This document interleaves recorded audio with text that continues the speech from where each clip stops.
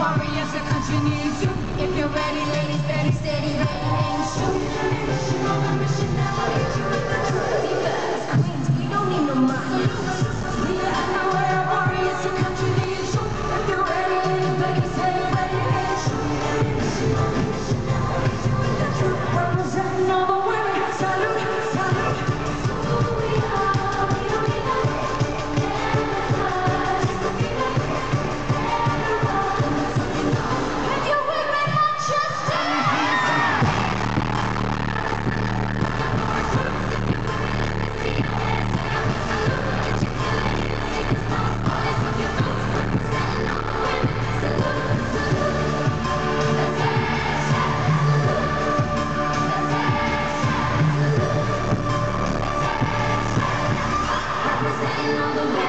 Thank you.